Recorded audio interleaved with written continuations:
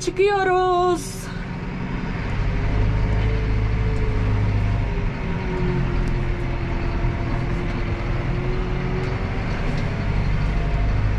Herkese merhaba arkadaşlar. Yeni bir günden yeni bir videoyla karşınızdayım. Bugün 5710'a sap parçalamayı taktık ve tarlaya gidiyorum. Dün akşam işte 6-6.30 gibi biçerler geldi.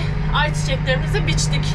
Ben de orada sadece drone'la bir çekim yaptım. Çünkü akşam üzeri olduğu için hem hava kararmak üzereydi. Hatta böyle drone'u ilk defa bu kadar karanlık havada falan uçurdum yani.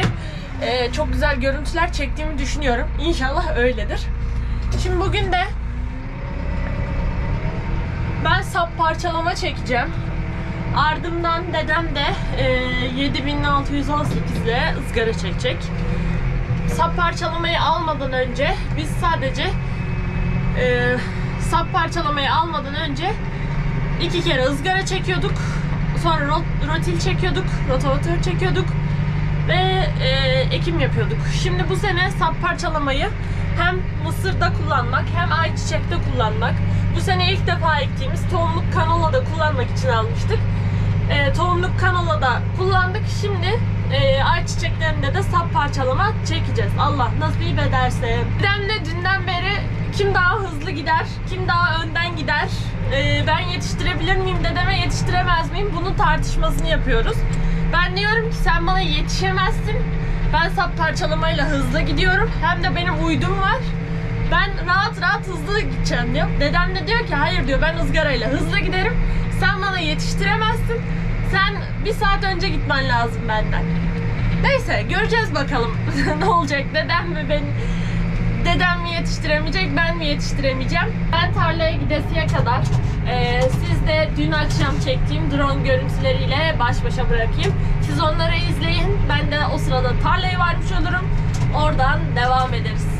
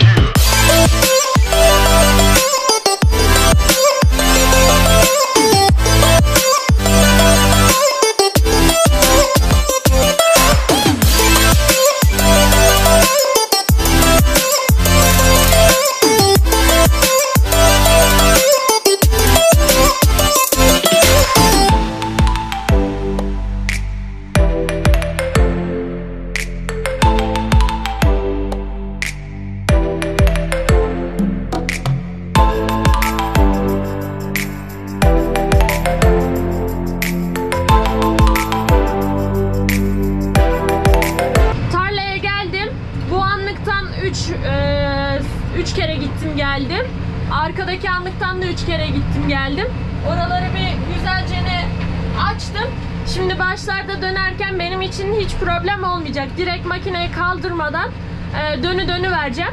Otomatik dümenlemeyi de ayarladım. Şu anda otomatik dümenleme ile ilerliyoruz. Dedem de geldi bu sırada. O da az sonra şimdi başlar. 3B ile 10.5 kilometre hızla gidiyoruz şu anda. Tabii taş ve ot durumuna göre hızımı artırıp e, azaltacağım. Koyunlar da var bu arada tarlada. Koyunlar da gelmiş, otluyorlar. Dedem de geldi, o da ızgarayla başladı ızgara çekmeye. Ben de buradan gidiyorum. Sonra şu aradaki kalan kısmı kapatacağım. Dedem çünkü hep yanından yanından gidecek. Ona arada yani böyle kafama göre takılamayacağım. Ee, sap parçalama çekerken hep bitire bitire gitmem lazım. Dedemin de arkamdan ızgarayla gelebilmesi için. Tarla bayağı temiz oluyor gibi. Ee, en azından sap parçalama çekilenle çekilmeyen yer arasındaki fark güzel gözüküyor.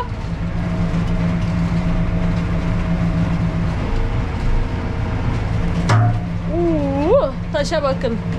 Takkadan vurdu.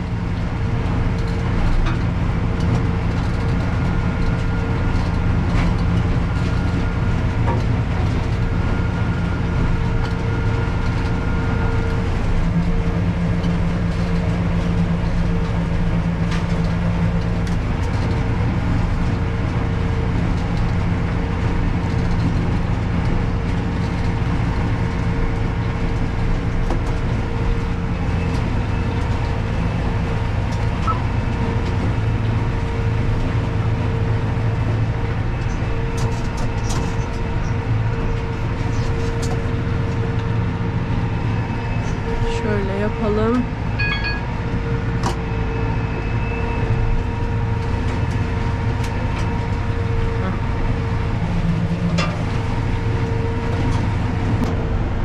Sap parçalamada aslında çok sıkıntı yok.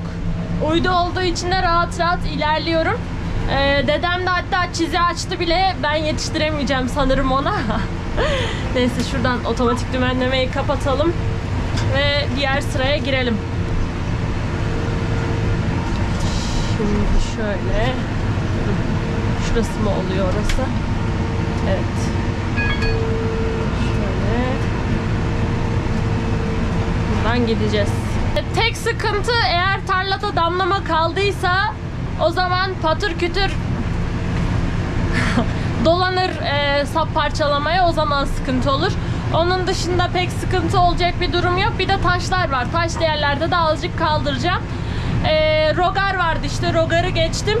Hatta dedem de onun etrafından döndü bir açtı orayı. Bazı yerlerde ayçiçekler top top kalmış. Dedem çizi açarak ilerlediği için e, şu anda nasıl diyeyim ucu ucuna gidiyoruz gibi. Aslında ben daha fazla yer yapmıştım. Oralar da boş. Ama nasıl diyeyim böyle bir 10 metre, 20 metre, 20-30 metre sonrasında çizi açıp onun etrafında ya da diğer iki çiziyle arasında dolandığımız için e, dedem mesela o aradaki boşluk olmasına rağmen bu tarafa kayıyor mecburen. Orada bir tık beni yakalıyor. Seri bir şekilde sap parçalamaya devam ediyorum. Dedem de ızgara çekiyor. Dedem de hemen hemen başa baş gidiyoruz gibi falan. Tarlayı daha büyük ihtimal yarılamamışızdır. Ama yine de hızlı gidiyoruz yani. 10.30'la gidiyoruz. 10.30'la gidiyorum. Az önce dedemle yan yana geldik. Böyle ikimiz de aynı yöne ve yan yana gidiyoruz. Yani aramızda 2 metre falan var. Dedem de neredeyse benimle aynı hızda gidiyor galiba.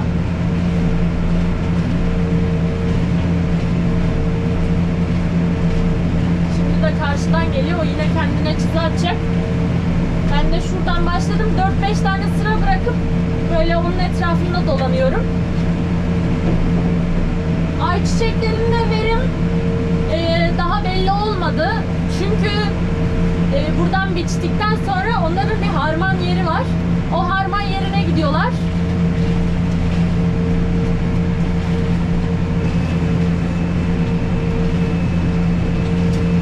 Çarpışma dedemle. götürüyorlar. Ee, orada kurutuyorlar. Daha sonrasında net kilo belli oluyor. Suyun aktığı her yerde çukurlar oluşmuş.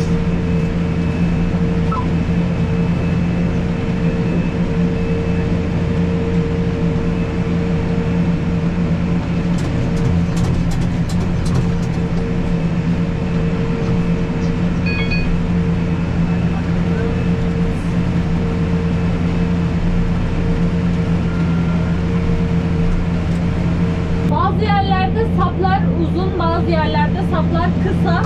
Ee, bunun sebebi de şimdi aşağıya indiğimizde, öğlen molası verdiğimizde de gösteririm yine. Ee, bunun sebebi de e, biçerlerin tablolarının farklı olmasıymış.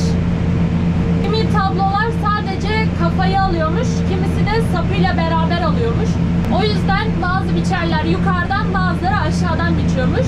Ee, böyle farklı farklı çeşitlerde farklı farklı tablolu biçerlerin olmasının sebebi de ayçiçek cinslerinin e, bölge bölge değişmesi.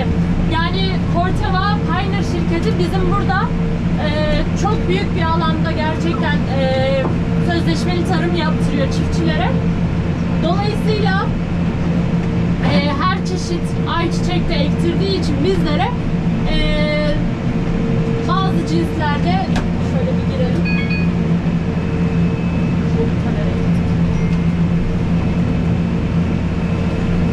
Bazı cinslerde e, boy uzun oluyor. Ayçiçeklerin boyu uzun oluyor. Bazılarında kısa oluyor. E, o ayçiçeğin kısalığının uzunluğuna göre de tabloların kullanım şekilleri e, değişiyormuş. O yüzden her çeşit tablodan tarlalara sokuyorlarmış. Dün akşam bu bilgiyi öğrendim mesela. Bilmiyordum. E, her tablonun farklı bir şekilde e, ayçiçeğin kafasını mı alıyor yoksa sapıyla beraber mi alıyor? Bunu bilmiyordum. Dün akşam öğrendim. E, o yüzden dediler.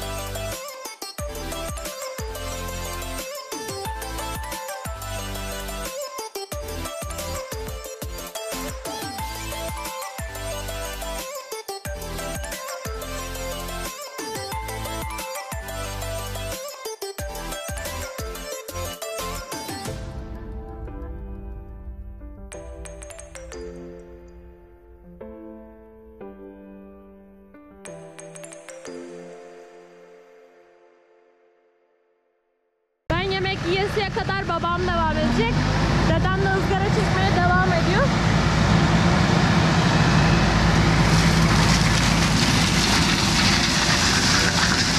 Oho! Dışarıdan onun tak kuru tık sesi çokmuş valla Annem de Melda da gelmişler. Onlar da bize sofra hazırlıyor dedemle bana.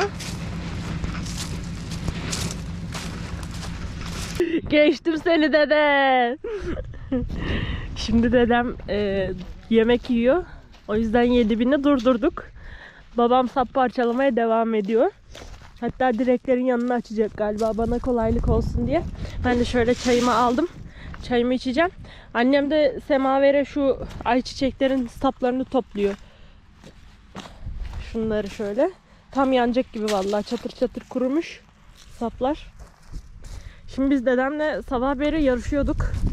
Kim daha hızlı gidiyor işte kim daha çabuk bitirecek falan diye. Ondan sonra o durdu şimdi. Benim işim hala devam ediyor. Babam devam ettiriyor. O yüzden olmadı bu iş diyor dedem de. Vallahi tar tarlalar bayağı hareketli e, bu zamanlarda. Şurada iki tane biçer var. Ayçiçeği biçiyorlar. Orada amcam kabak yapıyor. Ondan sonra orada diğer amcam işte ızgara çekiyor sanırım o nadas yapıyor. Orada iki tane biçer var. Biz buradayız iki traktör. İşler anlayacağınız bu zamanda çok hızlı ilerliyor bizim köyde. Ayçiçek biçimi içinde sanırım toplamda 6-7 tane biçer var. O yüzden gün içinde çok fazla deker e, biçebiliyorlar. Hızlı hızlı ilerliyorlar. Bizim bir ilk tarlamız bu ayçiçek olan. Bir de diğer tarafta var iki tane. Onlar da biçilecek işte sırasıyla. Göreceğiz. Izgara çekilen yere geldim. Baya güzel oluyor gibi gözüküyor ama bu erkekler sıkıntı işte. Bunlar daha önceden e, sapıyla çöpüyle hep beraber tarlada bırakılıyor. Boyunla beraber yani hiçbir şekilde kırılmadan. E, onlar kalıyor sadece. Sadece o erkek sıralarındaki e, erkek ayçiçekleri kalıyor. Onları daha önceden kırıyorlar biliyorsunuz. O kırımdan dolayı onlar tarlada bütün bütün kalıyorlar. Tek sıkıntı gözüken onlar var şu anda ızgara çekilen yerde. Ee, bir de sap parçalamanın da size faydasını, etkisini göstereyim. Sap parçalama çekildiğinde de böyle oluyor. Biz tarlalarımızda sap parçalamayı tamamen topraktan gidecek şekilde salamıyoruz maalesef. Çünkü gördüğünüz gibi taş dolu, çakır çakır. Hatta yani bayağı bir fırlatıyor taşları da. Arada vuruyor traktöre de. Ee, bu uzun uzun bunlar maalesef kalıyor. Izgarayla kıymaya çalışıyoruz bunları yani anlayacağınız.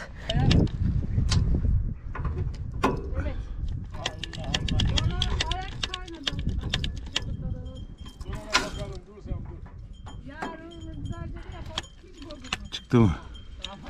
Çıktı çıktı. Yeniden start veriyoruz. Hidrolikleri kaldıralım. El frenini indirdik. Gidebiliriz. Dedem hala çay içmeye devam ediyor. Dedim vallahi ben bitirirsem giderim seni beklemem ona göre hareket et. Çünkü ben yastıklamaları başta yaptım ya kendi yastıklamalarımı. Onun yastıklaması var, bir şey var. Babamın kaldığı yerden devam ediyorum. Dedemle normalde yan yana dönüyorduk. Biliyorsunuz ki artık dönemeyeceğiz muhtemelen. Burada bir tane daha gittikten sonra e, bu kısım komple bitmiş olacak. Yemeğimizi yedik, çayımızı içtik. Oh, keyifler yerinde. Şimdi devam edeceğiz işimizi yapmaya. Bak biz aslında bir posta kabak çekirdeklerimizi de çıkardık. Ee, çadırlarda yayılı. Hatta bugün artık çuvallanacak seviyeye bile geldi. Ee, kabakların yapıldığı gün ben köyde değildim. Eskişehir'deydim. Eskişehir'de işim vardı. O yüzden o gün video çekememiştim. Dolayısıyla geri kalan süreci de çekmek istemedim. Daha nasıl olsa hani 2-3 kere daha kabak çıkartacağız diye. Ee, bugün de işte biz buradayken Annemler de e, kabakları çuvallayacaklar. Belki işim biterse ben de yetişebilirim çuvallamaya, yardıma onlara. Duruma göre bakacağız tabii nasıl olacak. Zaten kabak çuvallama işi genelde öğleden sonra olur. Sabah hani gece hava soğuyunca azıcık kabak e, çeker kendini. Onun iyice azıcık yumuşar kabaklar iyice sertleşip böyle çıtlanabilecek seviyeye gelmesi yine 11-12'yi bulur. Ee, kurumuş olmasına rağmen.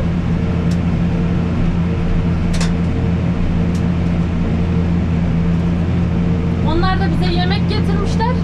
Şimdi gidip başlayacaklar muhtemelen kabak çuvallamaya. Neyse semaveri yakarlar biz de orada inşallah çay keyfine yetişiriz. Çaya yetişiriz.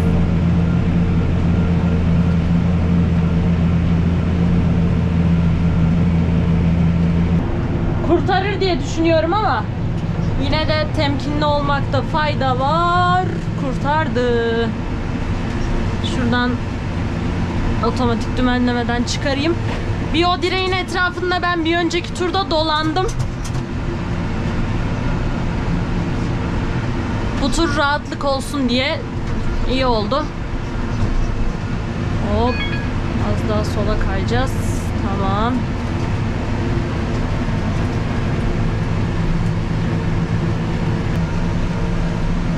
Sap parçalamanın üstünü görüyorsunuz. Toz, taş. Hatta az önce durduğumuzda ne kadar diyeyim şöyle şu büyüklükte şöyle bir taş vardı.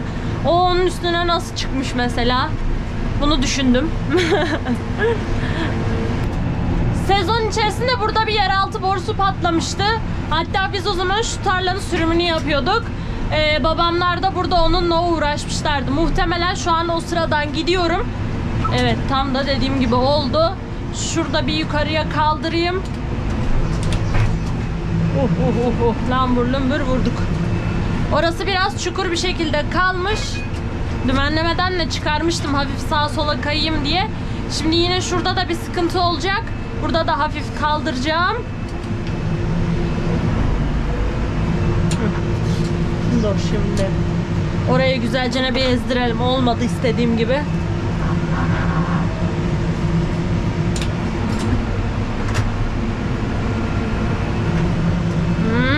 Tamam. Böyle altına aldığını külüf ediveriyor ya. O güzel oluyor. Mesela ızgarayla da toplattırdığın zaman hani onu dağıttırmaya çalışıyorsun falan. Bunda direkt üstüne koyuyorsun o parçalıyor. o güzel. İndirdim değil mi iyice? Evet indirdim. Klima sonunda mı ya? Vallahi çok sıcak. Ama işte dediğim gibi sıcak da lazım.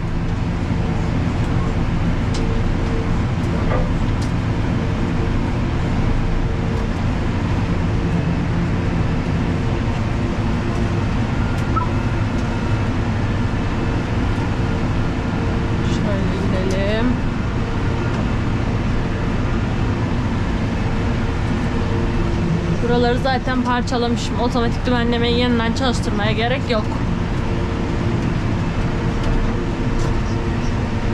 Bununla hem böyle düz gidebiliyorsun. o da çok güzel.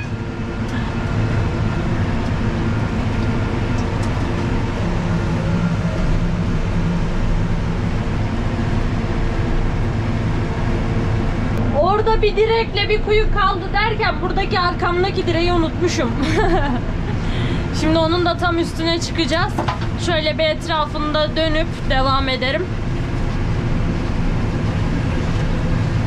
Dedem de bayağı yakınıma geldi bu arada görüyorsunuz değil mi ızgara çekilen yeri.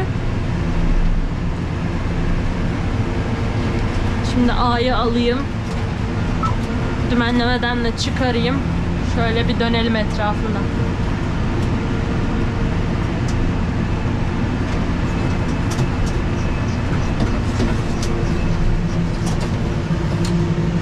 Sap parçalamada geri giderken makineyi kaldırmayı unutursanız tekerlekleri lambur lumbur kırarsınız. O yüzden özellikle ben en sonuna kadar kalkmasını bekliyorum.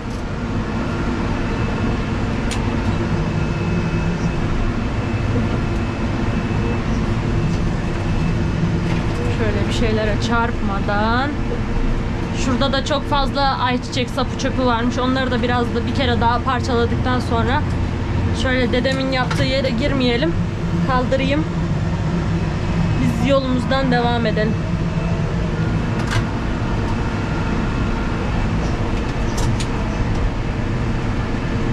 İndireyim o sap parçalaya parçalaya gelsin. Tamam.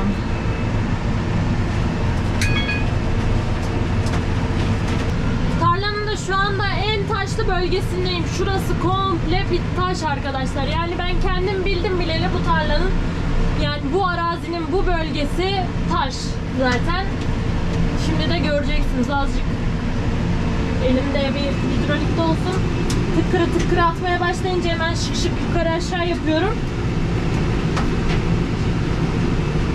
Bu sefer o kadar şey olmadı ama. Bir önceki turda olmuştu. Şöyle rogarın bir etraf. Son turu gidiyorum artık. Buradan da başa çıkacağım. Bu sıra şu bayırın orada bitmiş olmasına rağmen başa çıkar. Oradan sonra da ondan sonra da işim bitmiş oluyor.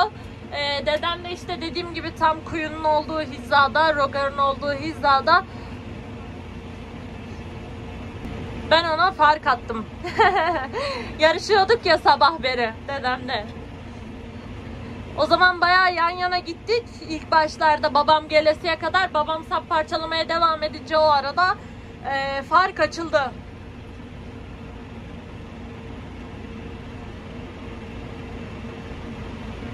Şuradan otomatik dümenlemeden çıkarayım artık. Zaten belli oluyor. Gidilen yer gidilmeyen yer. Annemler çayı bize bırakmış. Dedem de çayın yanına durmuş tam beni bekliyormuş. Şimdi çayımızı doldurdum. Biraz çay keyfi yaptıktan sonra o işine devam eder. Ben de eve dönerim. Termos ve bardakları poşetledim. Şimdi dedem devam edecek ızgara çekmeye. Ben de e, makineyi toplayacağım. Makineyi toplamaktan kastım ne? Şu tekerleklerin çivileri var arkadaşlar şuralarda. Bunları şöyle kapatıp tekerlekleri şöyle kapatıp bu çivileri buraya takacağım ki yolda sağa sola e, böyle açılıp kapanmasınlar diye. Bir de makinenin üstünü temizleyeceğim. Bunların hepsini eve götürmek istemiyorum. Eldivenlerimi bir giyeyim. Şunları da temizleyelim.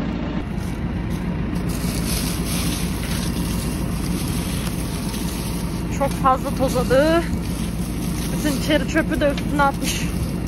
Valla taşlar bile çıkıyor bunun üstüne. Nasıl çıkıyor anlamıyorum.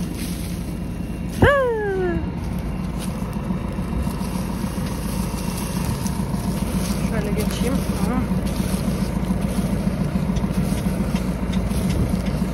Öğlenleyin bir kere temizleseymişim şimdi daha rahat olacakmış ama temizlemediydim öğlenleyin.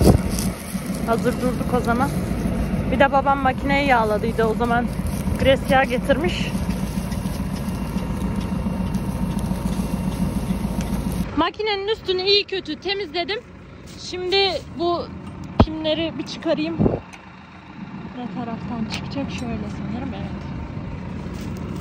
Şunu da çıkardım. Tekerleği ittiriyorum. Ve bunu takıyorum. Tamam.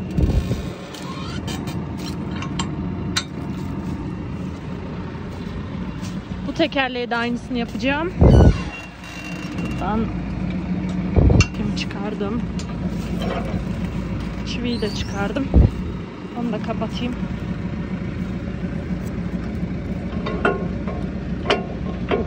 Sokamadım bir tane çiviyi. Tamam. Artık eve gidebilirim. Ben tarladaki işlerimi bitirdim. Dedem hala ızgara çekmeye devam ediyor. 1-2 saatlik işi kaldı onun da. Şimdi ben çayı falan aldım her şeyi. Tekerlekleri de kapadım. Artık gidebiliriz.